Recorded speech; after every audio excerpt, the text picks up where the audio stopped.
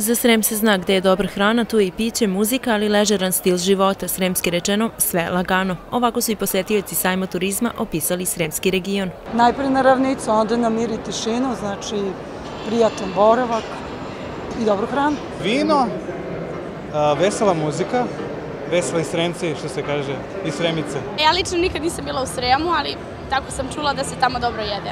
Ove godine na zajedničkom štandu sremskih turističkih organizacija koji nosi slogan Divan je kićeni Srem i novina koja je posebno privukla pažnje posetilaca te ih namamila na samu postavku. Reč je o fotobutu.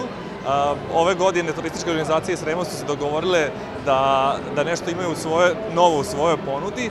U pitanju je magična kutija, tako bi rekli, sa raznim nekim elementima koje smo stavili poput češira i poput ovog rama, kao što se može vidjeti, koji na neki način eto, dočaravaju sliku Srema. Zajednička brošura sadrži ono najbolje u smislu turizma i svih sremskih opština.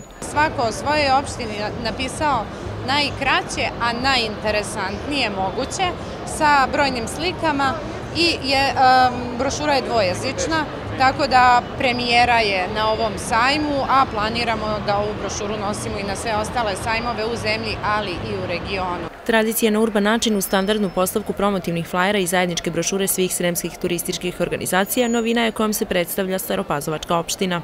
Za ovu priliku oštampali smo par majici koje mi nosimo i na taj način prezentujem kao i dosta upotrebnog, upotrebnih suvenira koje delimo posetiocima i naravno kroz našu gastronomiju privlačimo jako veliki broj posetioca ovde kod nas da dođu, da se malo zadrže više, da popričamo sa njima, da prezentujemo šta, šta mi to imamo e, lepo e, na opštini Stara Pazova, da ih zaintrigiramo, da dođu, da ostanu što duže i da nam se naravno ponovo vrate. Među izlagačima ovogodišnjeg sajma koji traje do 24. februara po prvi put se nalaze Rusija i Kina, a zemlja partner ove godine je Grčka.